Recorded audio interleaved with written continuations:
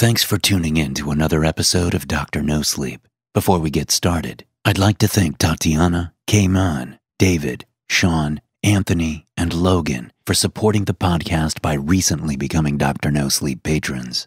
If you'd like to listen ad free and receive Dr. No Sleep merchandise as well, go on over to patreon.com slash drnosleep today or click the link in the episode description. Now, time for the story. We moved in a year ago, a month after mom died. Just me and dad and Piper in an old, salt encrusted Victorian with big dormer windows and a swooping front porch. It's not much to look at, really. A faded blue clapboard construction fronted by a piss yellow lawn and a view of the Safeway parking lot across the street.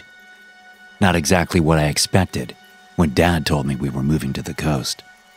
He said he had to get far away from her, or from the memory of her anyway. Some bullshit line about missing her too much. Nick, she haunts me. Every night I can feel her in the room haunting me. It's not good for me here no more. Or for you and your sister. We need a fresh start somewhere else. But I knew it wasn't a fresh start he needed. No, he wanted to run. I could see it in his nervous, washed out eyes darting this way and that every time we went to the store. The tight smiles and curt nods in between all the poisoned glances. And at home, the trash cans boiling over with empty vodka bottles and crumpled cartons of camel lights, the floors ashed in dust. No one to clean them up anymore. So, one day in late October, he pulled up in front of my school with a U-Haul tacked to the back of our rusted out 98 Chevy Silverado, and we left. No warning, no time for goodbyes. Just a quick, get in, kid. I found a place up the coast. A place we can get right again. Piper cried the entire way. And me, well, I just bit my tongue. The fear always starts in my toes when he speaks. A sinister prickle that blooms through my feet and spreads up my legs like a swarm of hatchling spiders in search of a meal. I can help you. I can make it all go away. The wallpaper man's voice is brittle, fluttering through the air of my room like a wisp of acrid smoke. Will it give it to me? Will it give me the pain? I shudder in my bed and pull the sheets higher, close my eyes, and hope to snuff it out, to drown it in the black void of my dreams. Anything to make it stop, to make it go away. Sometimes, when I'm feeling brave, I try to tune him out. I think about things like Piper's smile when I tell her one of my stupid knock knock jokes. I love her smile. It's crooked and perfect, just like Mom's was. I think about her too. About her lavender perfume and how soft she felt when she hugged me. I miss those hugs. A lot. When those things don't work, when I'm too afraid to think about anything else, I focus on the fear. The color of it, black. Definitely black. Its consistency, thick, like tree sap. The taste, a bitter copper like when I bite my lip like how I imagine battery acid would taste. But it doesn't work. Nothing does. The wallpaper man is used to kids who can get out of bed, kids who can run. Me, I have no use for legs. ALS took them six months ago. Most people are nice enough when they see me. I mean, sure, they stare a little too long and nod a little too hard when they say hello. They're quick to flash me a plastic smile and talk to me like I'm dumb or something. Like I'm a two year old, which I'm not. I'm 16. I just look young. Whatever. I can't say I blame them. Who wants to spend time talking to death warmed over in a wheelchair? I sure as hell wouldn't. I mean, I can't bear to look at myself in the mirror. And why should I? I know how I look. The right side of my face droops like a stroke victim's muscles frozen in place and not quite working right, with the other half scrunching tight like I just swallowed a mouthful of sour candy. My eyes are buried in sharp sockets, and my mouse brown hair sprouts from my head in weird directions that don't quite make sense no matter how hard I try to smooth it into place. The worst part is the pain. It's my entire existence. Cramps that go on forever, muscle spasms, and skin sores on my legs knees and elbows that lock up like rusty old latches, Despite this, like I said, most people are nice. Everyone except Roger Ellis. I'm in the boys' bathroom, changing my catheter before first period, when the door bangs open to a cloud of polo sport and a heavy set of footsteps. I know it's him before he even speaks. Hey, look who we have here. It's Nicky Twitch. Twitch, because it's what my body does. Leave me alone, Roger. I mutter. Before I have a chance to brace myself, he's behind me, whipping my wheelchair around in a circle, whooping and sending the contents of my catheter bag all over my lap. The sharp smell of ammonia stings my nostrils as I swipe at my jeans with a nearby paper towel, hoping to mop it up before it soaks in. Hey, don't freak out, Twitch. Roger says, rounding my wheelchair. I'm just messing with you, man. Looks like someone needs to cheer. The words trail off, the corners of his mouth tugging into an evil grin. Oh my god. Did you piss yourself? You did, didn't you? He barks out a laugh. That's so disgusting. Wait until everyone hears about this. Pissing your pants. What a baby. He spouts a few more jags of laughter and stomps out of the bathroom. I watch him go, rage swamping my chest and my lungs. Roger has everything perfect bone structure, broad shoulders, a strong jawline, already sprouting stubble, and girls chasing him everywhere he goes.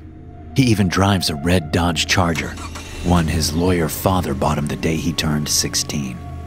It's not fair. He's everything I want to be, and everything I hate.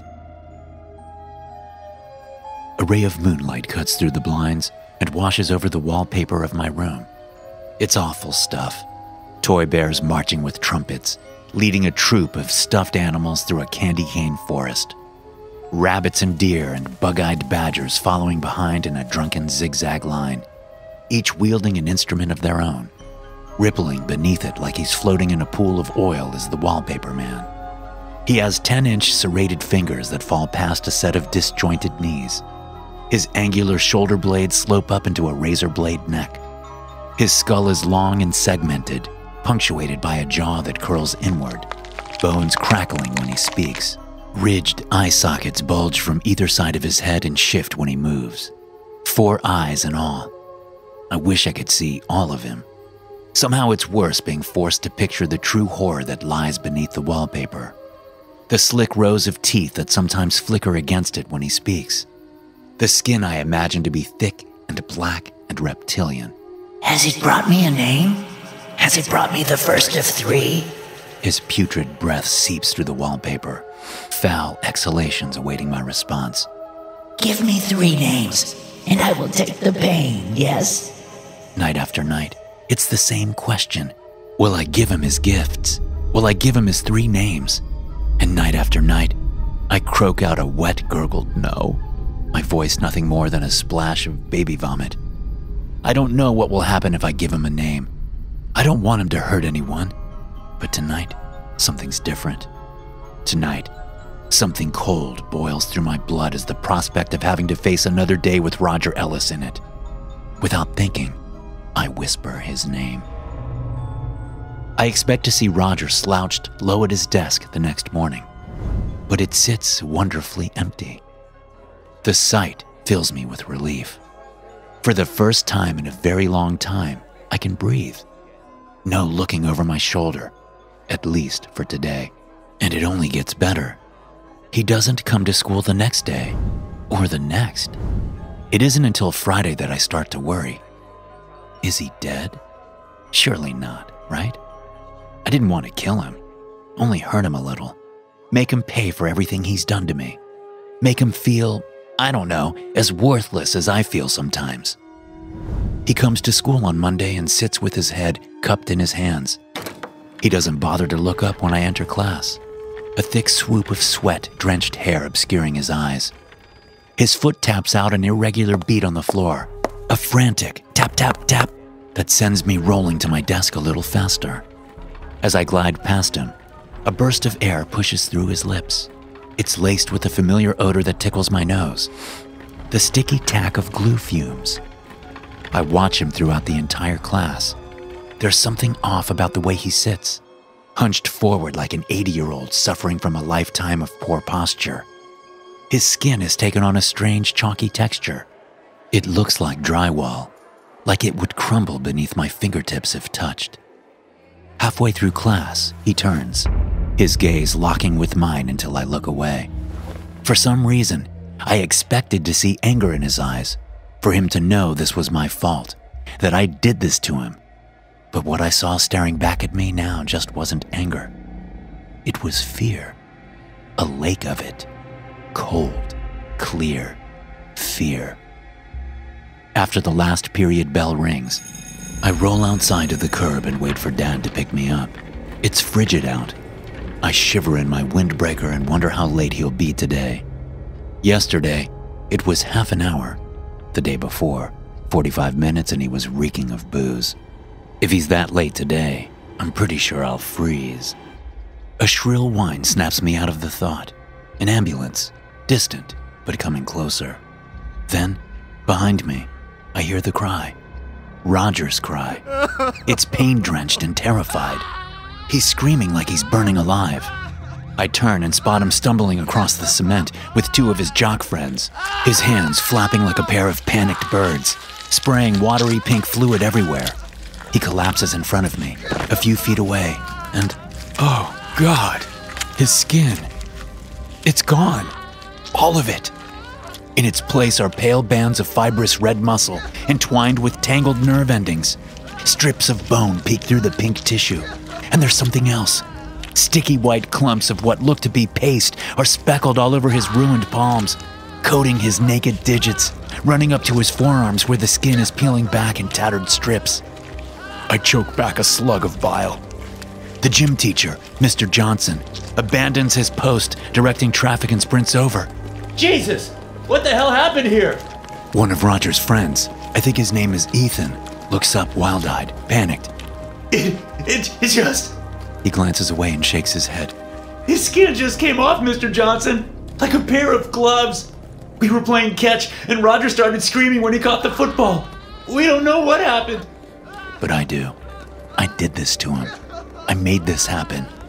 Roger unleashes a painful howl that slices through my rib cage all the way to my heart. A moment later, the ambulance tears up to the curb, and I watch EMTs load Roger onto a stretcher, his eyes wild with pain, rotating in their sockets like dirty brown marbles as they wheel him away. That night, my eyelids scrape open to sheer darkness. A tomb. I can't see the streetlight through my blinds and can't locate the reassuring red glow of my alarm clock on the dresser. My torso is slicked with sweat.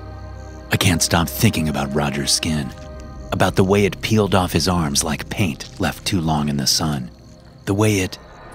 A chill washes down my arms and legs. Someone's watching me. No, not someone. Him. My gums turn to sandpaper. My tongue swells in my mouth. I can't handle him tonight. I can't give him another name to do this to someone else. I won't. I'll. There's a knock at the door. N- Nick? Are you awake? Piper. My heart thrashes as the door creaks open. She can't come in here. Not now. Not with him here. But in more than a year, he's only ever talked to me, never Piper. And she needs me right now. I can feel the panic radiating off of her. I can hear it trembling in her 10 year old voice. Hey there. You okay? I ask. Can I sleep with you tonight? Of course. Get in here. I lift the sheets and pat the bed. She used to sleep with me all the time when she was little, slipping into my room clutching her teddy bear while complaining about nightmares. But I knew that was a lie. She came in when the fighting got too rough, back when Dad would lose his temper with Mom, and the snap of his voice would pour through the house like dull claps of thunder. I drape an arm around her as she slides in next to me, and I realize she's shivering. What's the matter? You have a bad dream or something? She shakes her head, a length of her hair tickling my chin. What then? It was. She shudders, letting out a sob. Go on. You can tell me. You know that, right? She nods, going quiet for a long moment before she says, It was Dad. He was in my room again. I stiffen. every wasted muscle in my body snapping taut. My throat glues itself shut as I run a hand over her head and soothe her until her breathing evens out. Then, I lie there wide awake and think of my mom lying dead eyed on the bathroom floor, a storm of pills scattered around her lifeless fingers like fallen snowflakes. I think of the hem of her sweater, hiked up just enough for me to see the purple patch of stomach peeking through, and the fist sized bruises near her hip. Dad always liked to keep his handiwork hidden. I lie cardboard stiff for hours, waiting and waiting, staring at the wall, unable to sleep, willing him to appear. Near 3 a.m., I finally catch a flicker of movement above my headrest, that familiar seriform grin bubbling to the surface. A wallpaper talon extends from the wall, dipping gently to twirl a lock of Piper's hair. I like this one. Is this to be my gift? Is this to be my next name? No, I reply, trying to steady my voice. No, not her. Never her. Someone else. I have your name. In the morning, I wake Piper and have her wheel me into the kitchen, which has been outfitted for me. The one thing Dad's done right since we moved in. I make us a breakfast of scrambled eggs with sausage and orange juice and strawberry jam toast, just like Mom used to. I even draw a smiley face sunshine on Piper's napkin as I set the table. It doesn't help. We eat in silence, Piper barely touching her food.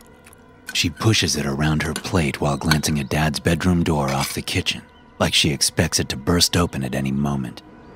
She stands for a few minutes before the bus arrives and throws on her backpack. As she turns to leave, I take hold of her arm and say, Piper, that stuff with Dad, it's never going to happen again.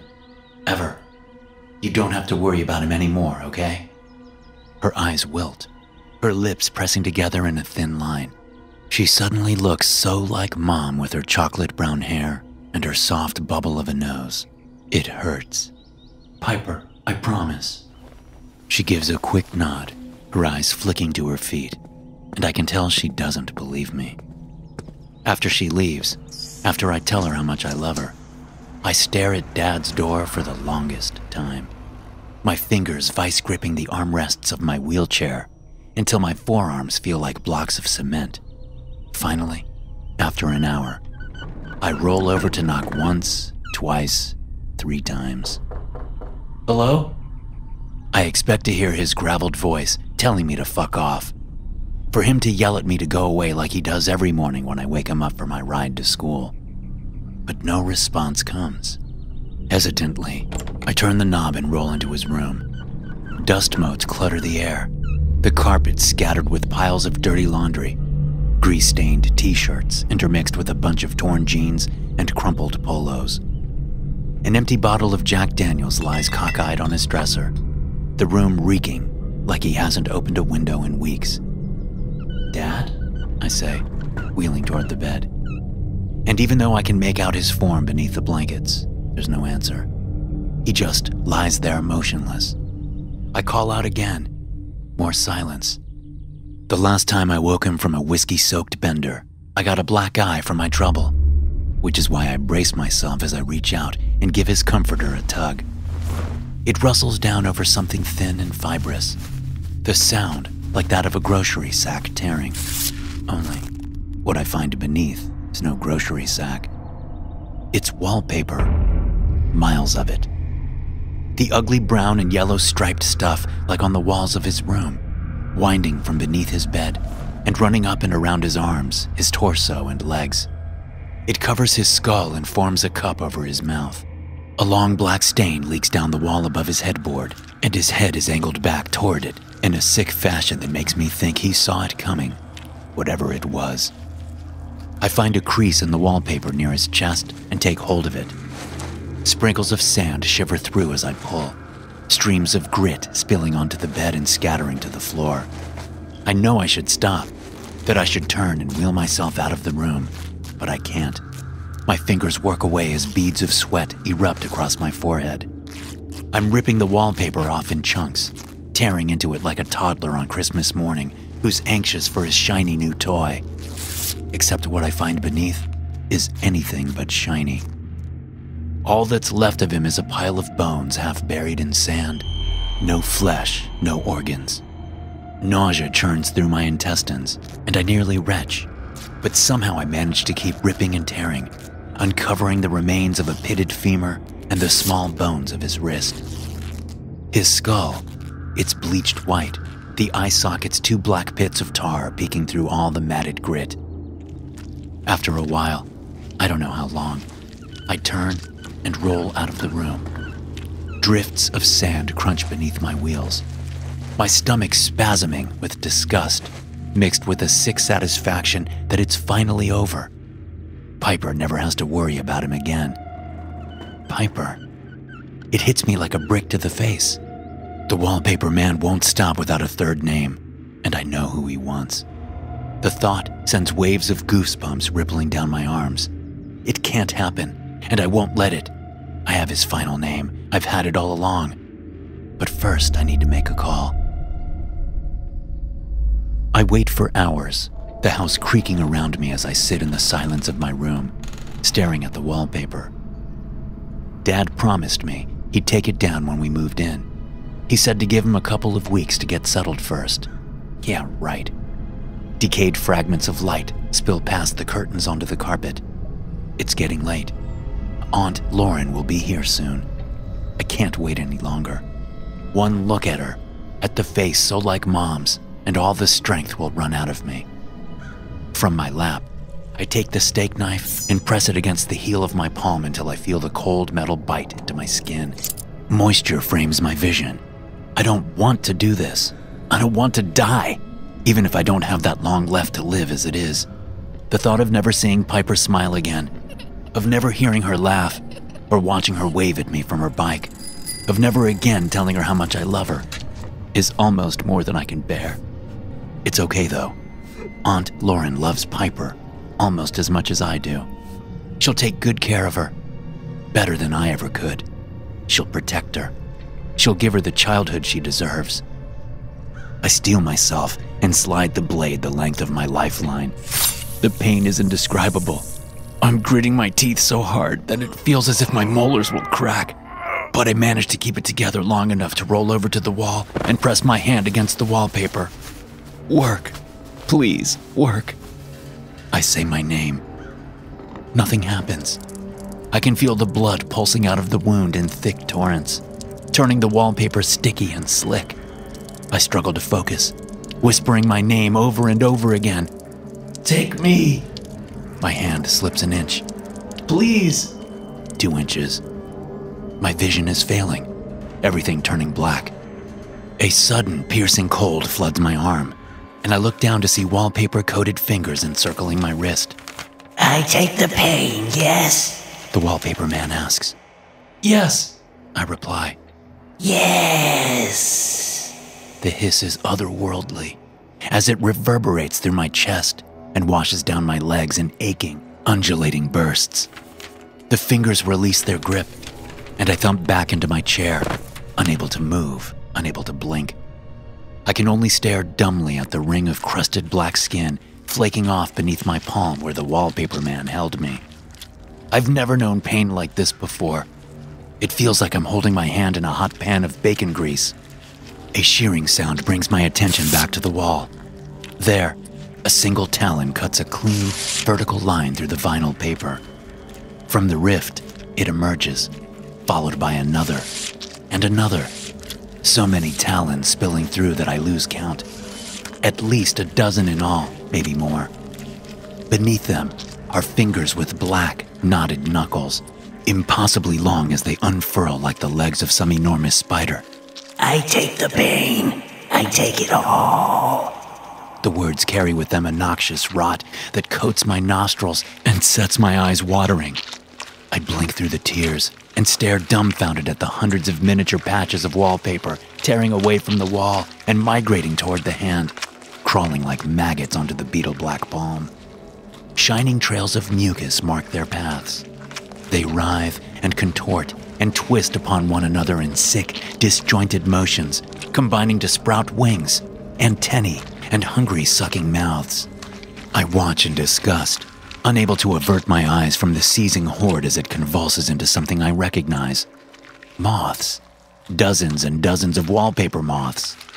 Another burst of decay spills from the wall, and before I can make a sound, they take flight and hurtle toward me. Their razor sharp wings lashing against my skin, and their stabbing legs piercing my flesh. They work their rotten bodies into my mouth and down my throat, burrowing into my stomach, into the soft gelatin of my eyeballs. Pure agony swims through every cell of my being, my life spilling out of me in a thousand cuts at once. Gray, white, muted, colorless shades. I am everything, everywhere, all at once, flicking into existence in a new body. One that feels strange and electric and without pain. One that feels dangerous. I'm in a girl's room. I can tell by the mountain of stuffed animals bulging from the corner hammock dogs and cats, and a red lipped, smiling monkey. A jewelry case rests on a white dresser. Posters of boy bands and horses speckle the walls. A tangle of beaded necklaces are draped over a rocking chair, and in the corner, from beneath a plush bedspread, a lush spray of hair drifts over a pillow. It's hard to see the color clearly through the striped wallpaper. It's dark, maybe amber, maybe brown. I can't quite tell with my new eyes. All four of them. Thanks for listening. If you enjoy these stories, be sure to subscribe to the podcast and check out some more of my episodes here.